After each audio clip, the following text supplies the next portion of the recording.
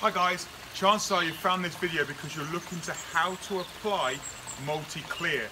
Well let me just tell you quickly what multi-clear is. Multi-clear is designed specifically for clearing blanket weed or preventing blanket weed. So if you have any blanket weed issues, multi-clear is definitely the product for you. It's a mineral and trace element product. It's not a chemical, it's not um, a algaecide, it's basically minerals and trace elements that coat the blanket weed and the, then the beneficial bacteria can start breaking it down and it basically stops it from growing. So what happens is it comes along and if there is blanket weed in there and it smothers it and then the blanket and then the microorganisms basically break it down. So the best way to clear blanket weed is to use multi-clear or how to prevent blanket weed in your pond is to use multi-clear. How to apply it, and I'll show you now. In this tub, you've got one kilo. We're not going to put the whole one kilo in today, but what we'll do is we'll basically use half. So the first thing to do is to take some pond water out of the pond, and you should always mix it in with water because it's a powder, and what happens is if you just literally, um, you know, throw it in, it will just go into the air and it won't distribute. You see there's bits on pieces on the surface. So what you do is you actually mix it into the water like you would put cornstarch into a soup or a stew. You basically mix it up with your hand and you basically make a solution like you would with a with a with a soup or a stew. How to how to thicken it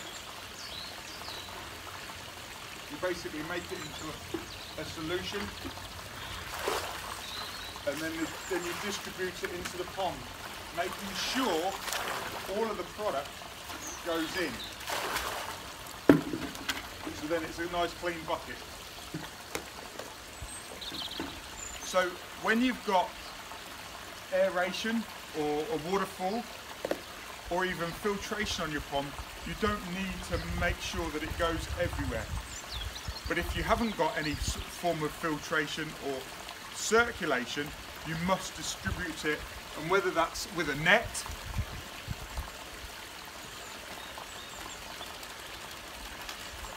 and you can just literally whoosh it around with the net, and you just basically mix it up like you would stir your soup or your stew you basically need to get it into all of the areas because what will happen is if you just pour the solution in to one area it won't actually be able to get to all of the surface areas and basically start fighting off the, the, the blanket weed um, you know the filamentous algae.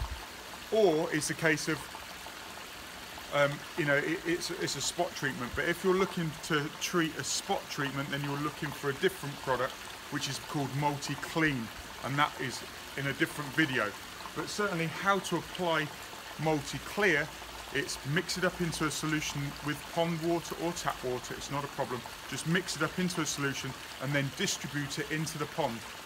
If you've got no circulation, make sure that you get it into all of the nooks and crannies. If you've got filtration on the other hand, not a problem. The pumps will do the work for you. So you just tip it in. Yes, the pond does turn milky, or in this case, turns a chocolate colour or a coffee colour because what I've done is I've done a service on this and I've cleaned all the filters. So it will be mucky for about 24 hours after you do a very good spring service. Um, but certainly if it doesn't clear within a couple of days then just just wait it will clear.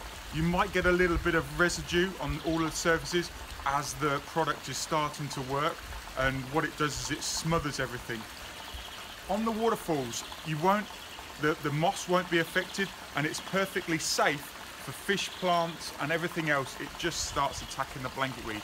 So this video is how to apply multi-clear. It's available on the website and I'm, my name is Mark, the Pond Advisor and I'm here to support you, dream, plan and enjoy your next water feature. My question to you is how can I help you? see you in the next video. Thanks for watching.